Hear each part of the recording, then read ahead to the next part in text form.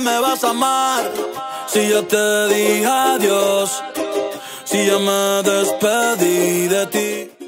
En Prefectura de Esmeraldas estamos incontrolables y es que el anuncio y la ejecución de proyectos no paran durante cada semana. Es por eso que recientemente inició la construcción de dos importantes proyectos en diversos sectores de la provincia. Acompáñame para saber cuáles son. Esto es La Prefectura Informa. No quiero saber más de tus besos, ¿para qué me vas a amar? Ya te di tu perdón. Con la colocación de la primera piedra iniciaron los trabajos de mejoramiento y asfaltado de la vía La T Cristóbal Colón en la parroquia Malimpia del Cantón Quinindé. 6,55 kilómetros que serán mejorados, haciendo realidad otro sueño.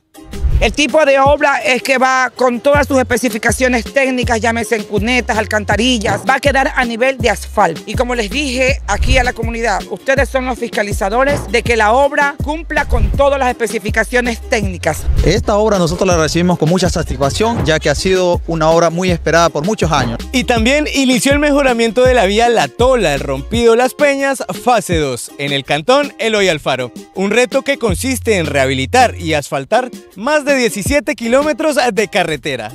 Esta obra hoy en día me llena de orgullo que se va a hacer realidad. Por este gobierno de turno hemos sido beneficiados por esta obra que la recibimos con tanto anhelo y orgullo de tenerla y una representante que se ha dedicado a darle los mejores días a esta parroquia. Una vía que esté en buenas condiciones significa muchas cosas. Significa que las comunidades pueden sacar sus productos, significa que un enfermo puede ser trasladado, significa que se va a desarrollar con normalidad. Y no solamente esa la necesidad, hay muchas necesidades. Y si empezamos por esta, adiós, gracias.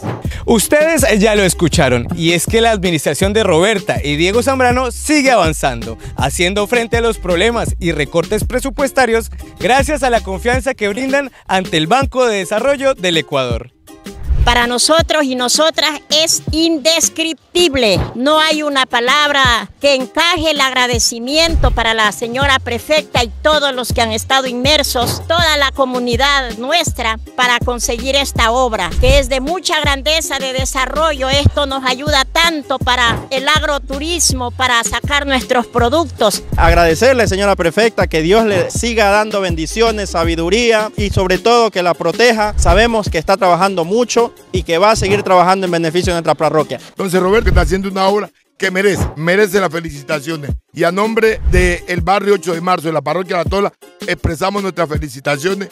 ¿Qué esperas para seguir las redes sociales de la Prefectura de Esmeraldas y estar bien informados? Hasta la próxima.